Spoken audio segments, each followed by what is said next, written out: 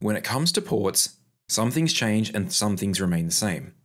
The root port, for example, is the same. There is still one root port per switch, and it still points out the best path to the root bridge. The only exception, of course, is the root bridge itself, which does not have any root ports. All ports on the root bridge are always designated ports. Speaking of designated ports, they're the same too. These are ports that point away from the root bridge and can still forward regular traffic. Each network segment can only have one designated port. If there were more than one, there would be a loop. What do I mean though when I say network segment? In nearly all cases these days, this is a link between two switches. The segment is the link itself, and there are only two devices on this segment. But a more complicated scenario is where you might have an old fashioned hub or a dumb switch or something like that. In a case like this, more than one device can connect to the single segment. This is rare these days though. We shouldn't be seeing hubs anymore, but it is still possible, so be aware of it. If this does happen, if you do find a hub in your network, be aware that you can only have one designated port for the entire segment. If there was more than one, we would definitely have a loop. Therefore, one of these ports would need to be blocking instead. The blocking port is where things get interesting. Blocking ports can now be categorized as either alternate ports or backup ports.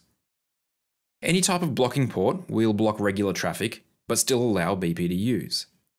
In fact, a port must be receiving BPDUs to be in a blocking state. Of course, you might wonder why this is the case. First, remember that all switches send BPDUs to their neighbors. If a port is not receiving BPDUs, then it is not connected to another switch. It's probably connected to something like a PC, a printer, a server, or some other end device. We can't create loops on interfaces connected to these devices, so these ports do not need to be blocking. As I just mentioned, blocking ports can be alternate or backup. An alternate port is one that has received a superior BPDU from a different switch in the same network segment. The network segment in this case is just that link between the two switches. This here is an alternate port, as it is an alternate path to the root bridge. It's ready to take over if the current root port fails. Backup ports come into play when there is a shared segment. That is, something like a hub that allows two or more switches to connect to each other. In our example, one switch has two links. One link on this switch becomes designated. On the other switch, the port is blocking. This would be an alternate port as we just discussed. Now back on the switch with two links, something interesting will happen. The switch will see its own BPDUs. That is, each port will send BPDUs, and the other port will receive them. Only one of these can be designated though, so the other must be blocking. But because the switch receives a BPDU from itself, the blocking port will be a backup port.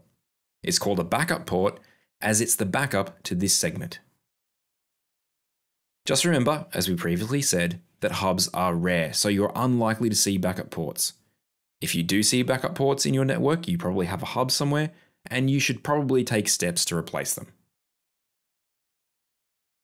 We can examine the output of show spanning tree to see these port types.